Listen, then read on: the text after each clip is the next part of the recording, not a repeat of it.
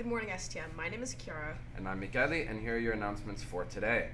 This is a reminder that Breakfast Club runs every Monday, Wednesday, and Friday in the CAF from 7:45 to 8 a.m. Come out and get your healthy breakfast snacks. This is a reminder to anyone interested in playing senior football. We will be having a sign up and brief meeting tomorrow immediately after school in the lecture hall. The junior girls volleyball team will return to action tonight at Cathedral.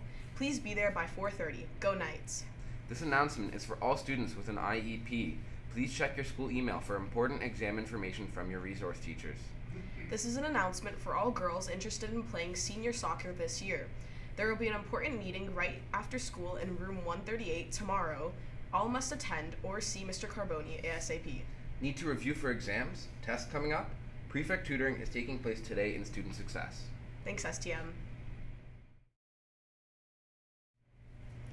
STM, those are all of your announcements. The time is now 8:16. And remember, it's a great day to be a knight.